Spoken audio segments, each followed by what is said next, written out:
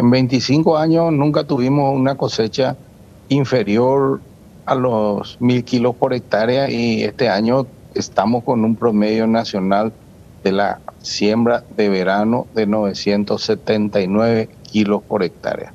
De 10 millones 500 mil toneladas que se esperaba que se produzcan, solo tenemos una estimación de cosecha de 3 millones 420 mil toneladas. Una pérdida de más de 7 millones de toneladas, que significa un 67% de caída.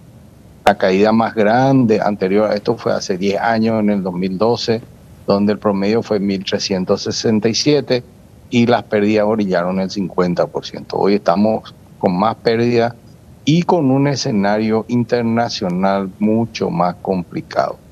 Por la guerra Rusia-Ucrania, eh, los precios se están disparando. Ahí tenemos el problema del petróleo, el combustible, tenemos el problema de la suba de los insumos para la próxima siembra eh, y también la incertidumbre de si van a estar disponibles y vamos a tener lo suficiente para volver a sembrar en septiembre, porque está muy difícil. China, Shanghái está cerrado, eh, los fletes marítimos y fluviales están altos, todo es viento en contra, lastimosamente, y sabemos bien que Paraguay está también en un proceso de inflación que hace rato no conocíamos y está en la interanual, la inflación interanual hasta marzo ya está en 10.1%, dos dígitos, hace mucho no, ocurría y estamos en el tercer mes del año cerrado y el cuarto andando.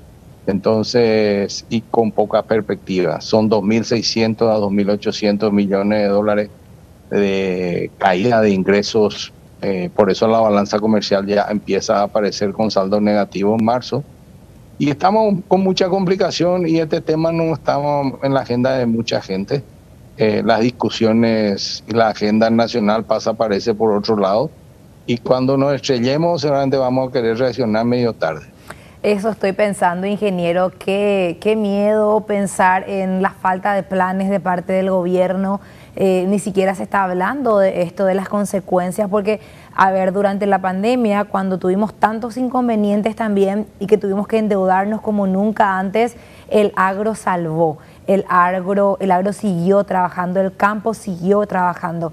Eh, y, sin embargo ahora estamos todavía en pandemia en algunos países como la, eh, el caso que mencionabas de China, continúan con restricciones de nuevo, van con las regresiones todo este escenario de la inflación también que juega en contra. Y aquí no solamente estamos hablando de cómo va a impactar al gran productor sojero, sobre todo a ese mediano y pequeño productor y a toda la cadena, porque ah, ingenieros siempre nos explican ustedes también qué significa eh, una determinada cantidad de cargas, por ejemplo, que los fleteros que hoy están haciendo ahí una protesta por tema combustible no van a estar trasladando, que muchas familias también en toda la, la cadena productiva no van a tener el ingreso que en un principio se había proyectado. Correcto, en el tema flete son 260 mil viajes de larga distancia menos para este año. Eso quiere decir que un fletero que hacía ocho viajes al mes, dos viajes por semana, con suerte está haciendo uno o dos viajes al mes ahora. Entonces estamos discutiendo en lugar de los problemas de fondo y de cómo diseñar políticas que nos permitan volver a sembrar en las mejores condiciones en septiembre y tener la recuperación el año que viene. Estamos discutiendo el precio del combustible que no controlamos nosotros. Aunque le llenemos el tanque gratis a los camioneros, no van a tener trabajo porque no hay mercadería para transportar. Así de simple es el escenario y nosotros estamos por incendiar el país por, el, por la discusión de un precio de algo que no se va a hacer. No, tremendo. Ingeniero, y para tener los números redondos en cantidad de divisas que no van a ingresar eh, por cantidad y calidad de productos que no se logró, ¿de cuánto dinero estamos hablando en el año? Estamos hablando de 7 millones de toneladas de pérdida a un precio promedio bajo pero vamos a ser cautelosos, de 400 dólares la tonelada son 2.800 millones de dólares que van a dejar entrar. El precio promedio de 500 y ahora está por encima de eso. y son 3.500 millones, pero quedémonos con los 2.800 millones menos de ingresos de divisa. Acordate, vos mismo estás señalando que durante la pandemia con 1.600 millones de dólares solucionamos y con el campo trabajando.